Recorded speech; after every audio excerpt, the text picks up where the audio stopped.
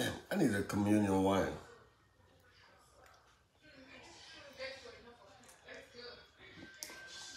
Even the Bible said, a little wine for the stomach's sake.